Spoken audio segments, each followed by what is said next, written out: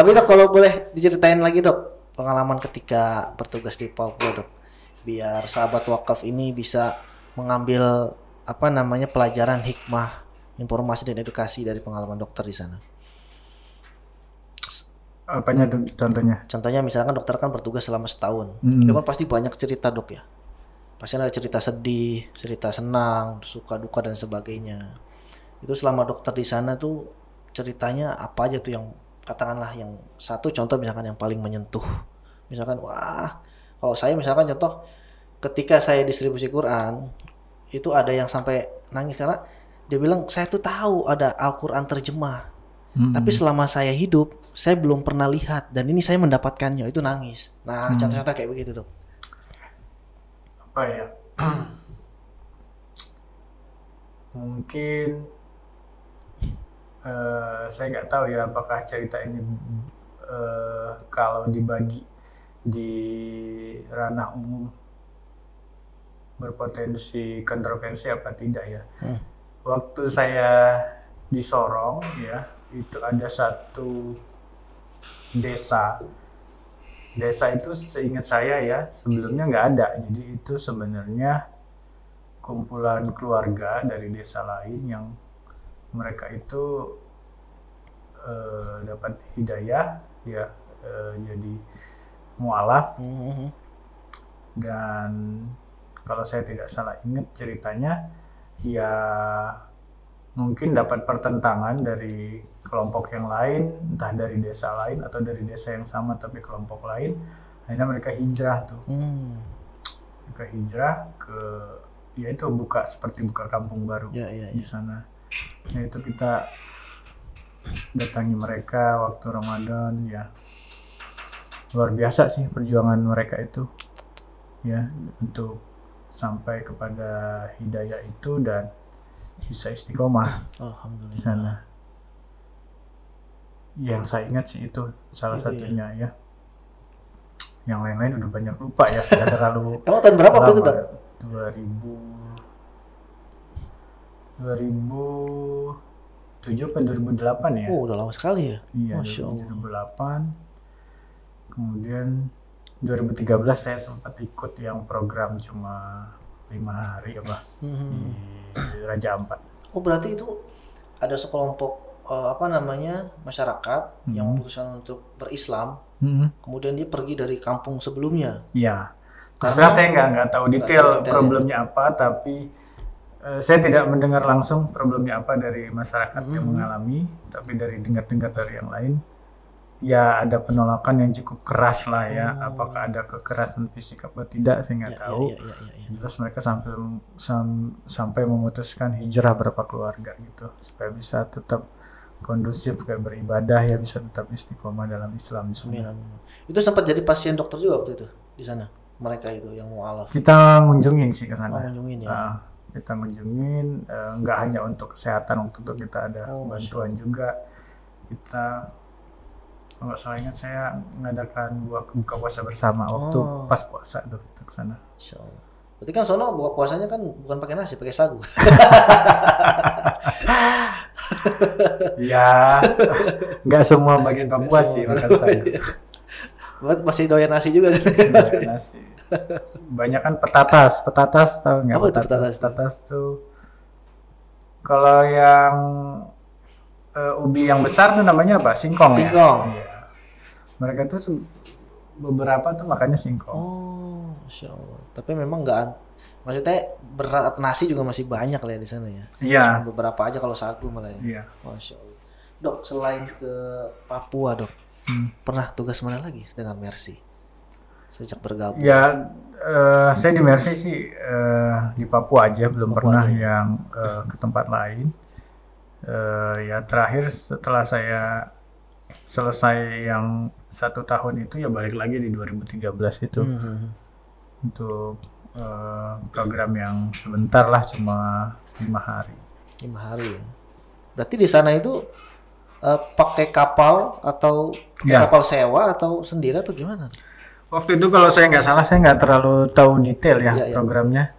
Eh, jadi Mercy itu kerjasama dengan satu eh, NGO konservasi Oh. konservasi alam Ya, ya, ya. ya yang udah memang mereka udah lama di sana Ya. mereka udah lama di sana terus ya itu mereka yang menyediakan transport gitu Hmm. kurang lebih mirip-mirip yang akan dirintis kerjasamanya dengan BWA ini Iya, kurang lebih seperti itu yaitu eh, cuma waktu itu saya ikut di awal aja tuh Hmm. di awal mereka buka program Eh, kami mengunjungi tujuh tujuh desa Tujuh desa tujuh ya. desa di daerah eh, distrik bagian utaranya Raja Ampat lah sisi utaranya selama tiga atau empat hari lah Hmm, hmm, hmm, hmm. Ya, ya, ya. baru balik lagi ke base-nya Mercy kan di Papua itu di Sorong ya, Iya, di, iya. di Kabupaten Sorong. Jadi ini nyebrang lagi ke Raja Ampat. Oh, Masya Allah. Tapi kalau boleh tahu nih dok, pasti kan ada kendala, rintangan, tantangan Hmm. pada waktu bertugas, apalagi selama 13 bulan pada waktu itu ya. Nah, itu apa aja dok? Boleh ceritain nggak? Ini kita perlu tahu nih.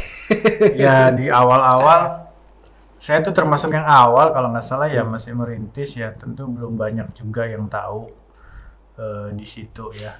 Eh, sebenarnya eh, base camp kita di Timika itu ya mau dibilang terpencil nggak terpencil terpencil banget ya. Cuma memang mungkin base camp yang dipilih jadi mirip-mirip terpencil sampai listrik aja nggak nggak ikut PLN gitu terbatas ya. Itu termasuk bisa dibilang dukanya juga ya. Kita dari Jakarta terbiasa listrik full Hmm, di sana Minim.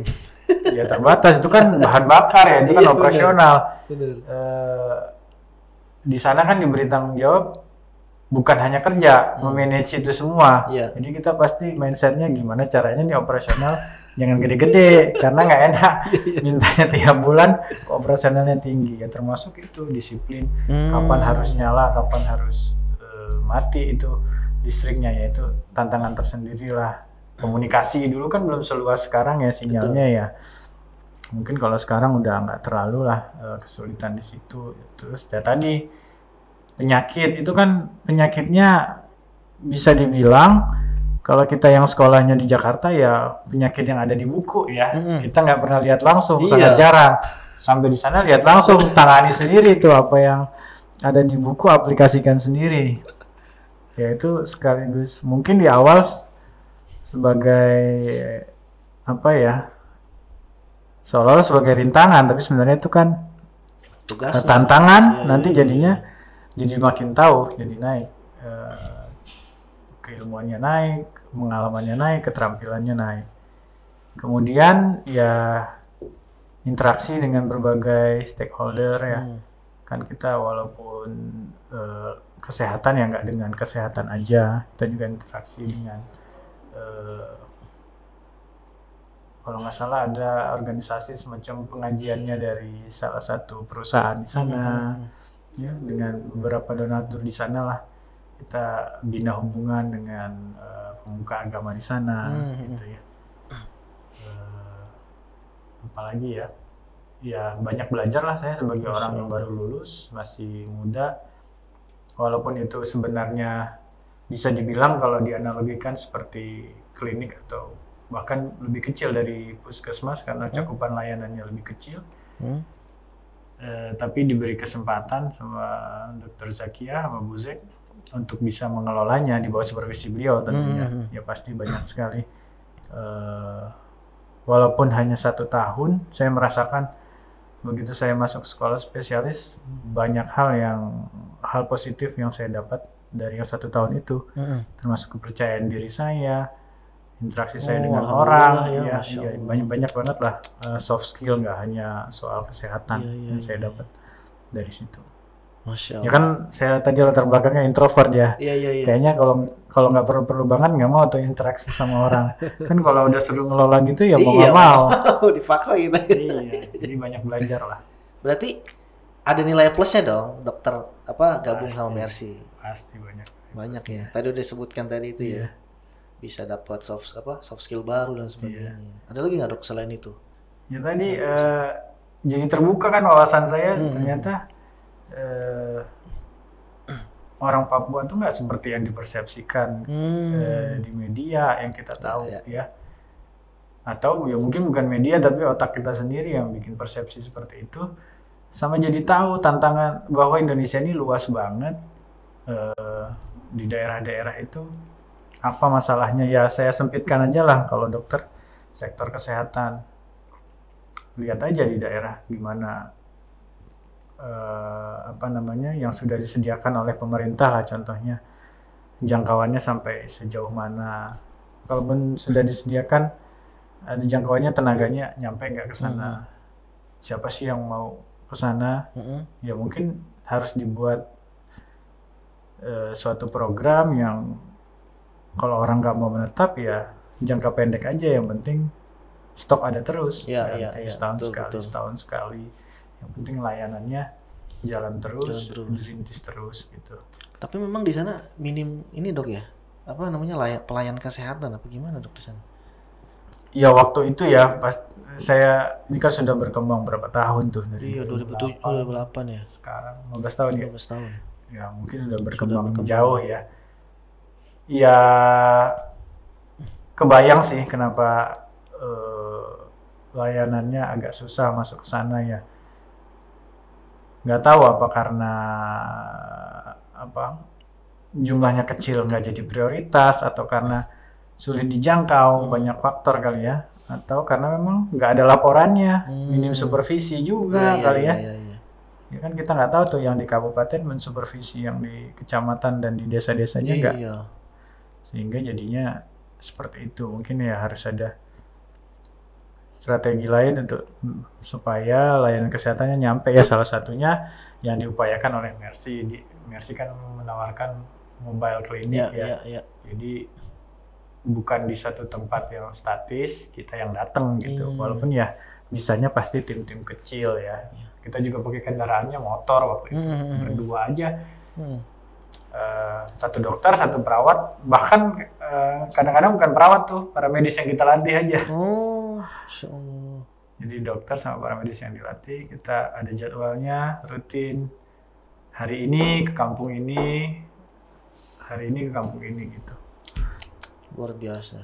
Ya itu salah satu solusinya memang. Di pemerintah juga ada sebenarnya Hmm. kayak puskesmas keliling. Ya cuma ya memang mungkin nggak nggak nggak bisa juga mencakup Iya, semuanya betul. sehingga kalau ada lembaga lain yang bisa bantu ya lebih baik lagi. Ya betul, kenapa Iya. enggak gitu kan? Toh juga tujuannya sama kan, Dan tujuannya sama. untuk kemanusiaan juga.